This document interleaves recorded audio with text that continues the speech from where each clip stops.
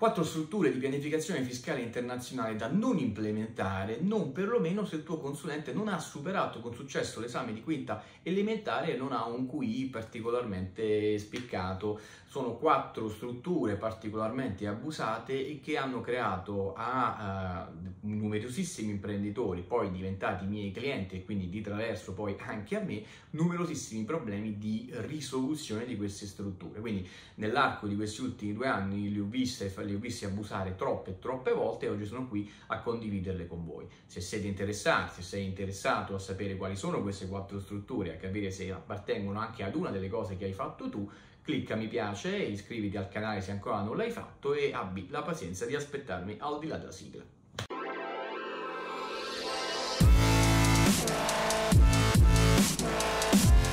Ciao, sono Luca Tagliatela, sei sul canale di Tax Planning Internazionale. Evidentemente oggi parliamo uh, di pianificazione fiscale nel vero e proprio senso del termine. Andiamo a vedere quali sono queste quattro strutture completamente abusate nel corso degli ultimi anni che stanno creando dei problemi al limite della irrisolvibilità. E partiamo immediatamente. La struttura probabilmente più abusata che ho visto in quest'ultimo anno è quella di, una, di aprire una LLC, Limited Liability Companies, negli Stati Uniti con residenza fiscale in Portogallo. Facciamo attenzione, è una struttura che va al di là dell'abuso del diritto, è una struttura che si eh, concretizza come aggressive tax planning perché arriva evidentemente ad una tassazione pari a zero ed è una tassazione ed è una struttura che va contro tutte quante le normative anti-abuso previste dalla ultima TAD 80AD che sarebbe la direttiva anti-abuso dell'Unione Europea a cui vi ricordo che il Portogallo fa parte per cui se avete implementato una di queste strutture parlatene immediatamente con uno psicologo o se non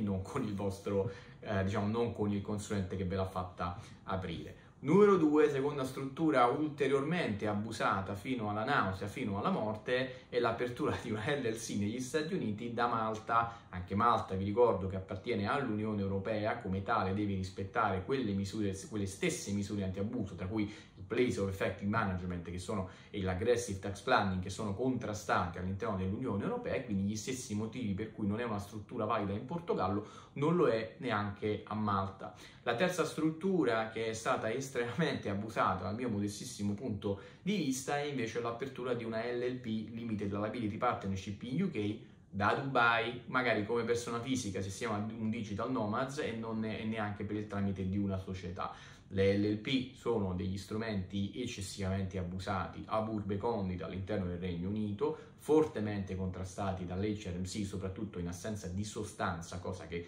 tendenzialmente non avrete. Potete soprattutto, facciamo attenzione ai risvolti tecnici, una LLP può crollare da un momento all'altro perché avere un solido conto corrente legato, per quanto, per quanto offline è possibile, online eh, è possibile ma può crollare da un momento all'altro, quindi i vostri sistemi di pagamento come Stripe e PayPal potrebbero darvi un sacco di problemi per essere abilitati, in più il conto corrente se, se è un Wise per esempio o Revolut potrebbe essere chiuso da un momento all'altro, per cui pensateci 10 volte prima di aprire una LLP se siete residenti a Dubai. La quarta struttura banalmente eh, che ho lasciato diciamo come ciliegina sulla torta in questo breve video per vostre riflessioni e vostri commenti è l'apertura di una UK Limited Company mentre siamo ancora fiscalmente residenti in Italia. Perché è abbastanza diffusa l'opinione che per superare magari l'estero di restrizione basti un local director, un nominee non è così, la notizia brutta che voglio darvi in questo